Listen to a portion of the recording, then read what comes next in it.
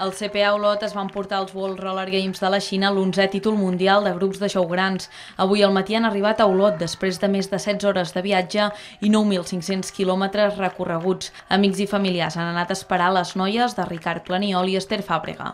Quan vam arribar a Xina feia moltíssima calor, no ens esperàvem que fes tanta calor i teníem molta por que tant el, el dia del campionat com els altres dies fes la mateixa xafogó i no poguéssim treure tot el rendiment però mm, ens vam acostumar molt bé, mm, el, bueno, tot l'assumpte d'allà, tema trànsit, tema tradicions que tenen allà, no, no van ser molt del nostre grat, però bueno, estaven més, més apartadotes.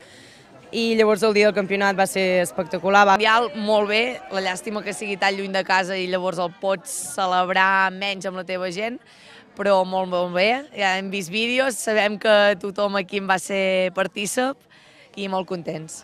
Algunes patinadores han competit per primera vegada i els pares tampoc s'ho van voler perdre. Estàvem molt nervioses, tot i que es va avançar molt el campionat, no vam sentir els nervis com per exemple l'europeu, però jo estava molt nerviosa, era el meu primer mundial i va ser molt emocionant. La veritat és que no m'imaginava el que podia sentir, ja havíem seguit altres mundials de l'equip, però és que quan tens una filla allà, eh, la veritat és que és molt diferent molt, molt, molt emocionant. Des del club, però, consideren que l'organització de l'esdeveniment no va ser l'esperada. Amb el tema esportiu, molt bé, perquè a més a més doncs, hem aconseguit un avantatge de gairebé 9 punts respecte al segon que ha estat el Girona. En temes organitzatius no podem dir el mateix, perquè bé, doncs, 9.500 quilòmetres de distància amb unes carències enormes, doncs no, no podem pas dir que estiguem contents.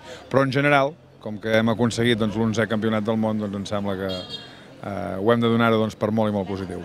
El dia 30 de setembre el club celebrarà la victòria amb un sopar. Al llarg de les properes setmanes, des de l'Ajuntament també s'homenatjarà les patinadores.